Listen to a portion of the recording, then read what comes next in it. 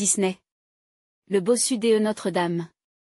Le porte-bonheur d'Esmeralda. Disney. Le bossu de Notre-Dame. Le porte-bonheur d'Esmeralda. Adaptation, Margot Lindel. Illustration, Cardona Studio. Traduction, le groupe Syntagme INC.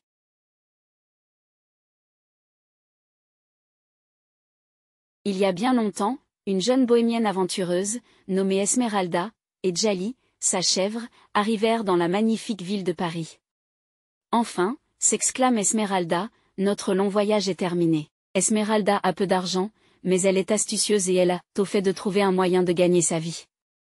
Djali, je fabrique une charrette que tu vas tirer, dit-elle. Le lendemain, Esmeralda attelle Djali à la charrette et l'emmène jusqu'au marché.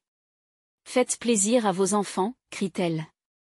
Pour quelques piécettes, offrez-leur une promenade en charrette. D'habitude, Esmeralda et Djali gagnent assez d'argent. Pour manger chaque soir. Et même si le repas est parfois bien maigre, Djali cherche toujours à faire rire Esmeralda. Un matin, à leur réveil, Esmeralda et Djali voient un chariot passer dans la rue. Regarde, Djali, s'écrie Esmeralda, un paquet est tombé. Esmeralda ramasse le paquet et court derrière le chariot. 1. Entendant ces cris, les deux vieillards arrêtent le véhicule. Ils remercient Esmeralda de sa gentillesse. Puis la vieille dame enlève un de ses bracelets. Tiens, prends ce bijou, il a été fabriqué par les bohémiens. Il te portera chance, dit-elle. Avant que Esmeralda ait pu dire un mot, le chariot s'éloigne.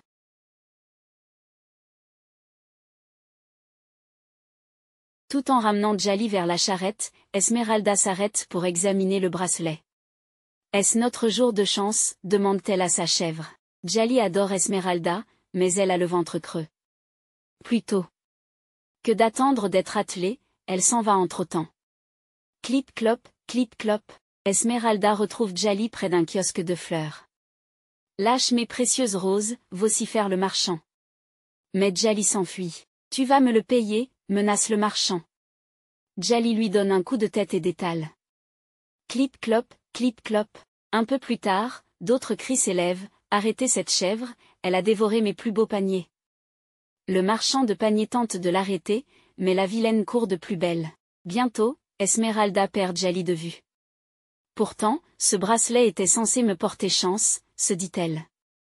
Des cris provenant du coin de la rue l'attirent de sa rêverie. Esmeralda se dirige vers la clameur et voit Djali fuir le kiosque de poissons. Oh non, mes beaux poissons, bougonne la poissonnière. Djali a renversé toute sa marchandise. Djali quitte le marché et se met à trotter dans les ruelles étroites. Esmeralda la suit de près, mais la chèvre tourne le coin et disparaît. Clip-clop, clip-clop.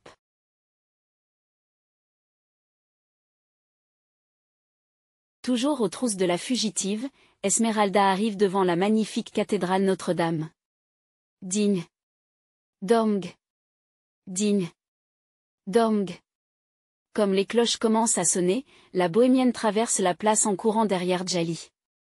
Mais avant qu'elle n'ait pu la rattraper, l'espiègle chèvre s'est encore attiré des ennuis. Elle la rejoint au théâtre de marionnettes. Redonne-moi ma marionnette, crie le montreur. Désolé, dit Esmeralda en lui rendant sa marionnette avant que Djali ne l'engloutisse. Elle ne causera plus d'ennui. Soudain, l'homme, lui aussi bohémien, aperçoit le bracelet d'Esmeralda. Je m'appelle Clopin, dit-il doucement. Ce bracelet est un signe, je dois t'offrir mon aide. Ce soir-là, Clopin, le nouvel ami d'Esmeralda, l'emmène à une réunion de bohémiens.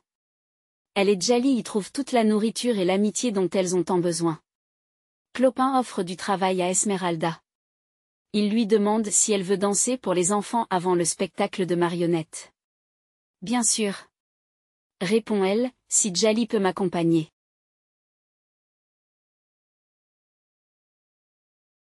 Avant de se coucher ce soir-là, Esmeralda soupire de soulagement et serre Djali dans ses bras.